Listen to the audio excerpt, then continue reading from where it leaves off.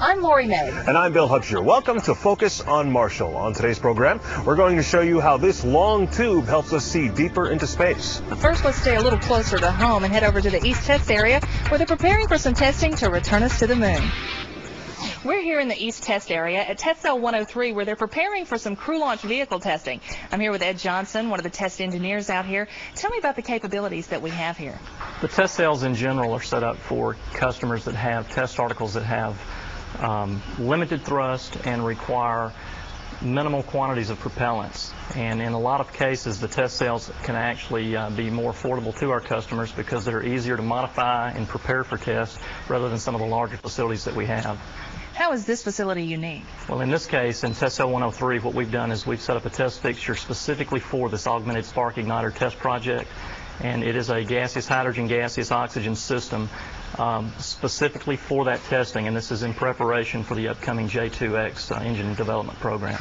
All right, let's take a look at some of the hardware. Here we have a vacuum chamber. Tell me about that. Um, this is the test article here. Here, this is a SSME igniter, and um, it's attached to a three-foot vacuum chamber. And uh, what we're doing now is we're um, we're running igniter tests, and we're varying the altitude conditions using a vacuum chamber to vary the back pressure on the igniter, and um, we're also varying the mixture ratio of the igniter to investigate the sensitivity of the igniter itself to altitude and mixture ratio.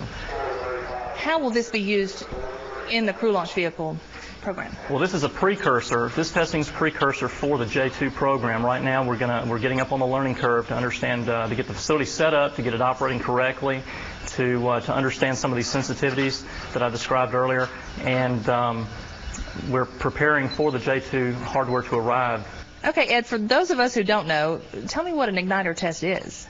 Well, in this case, what we're doing with the SSME igniter is uh, we're varying the chamber pressure to simulate altitude conditions, and we can also vary the mixture ratio to the igniter to, to investigate the sensitivity of the igniter to those conditions. And that's important because with the J2 engine development program, the igniter will have to be developed and tested and evaluated to ensure that it will light under the conditions required for flight.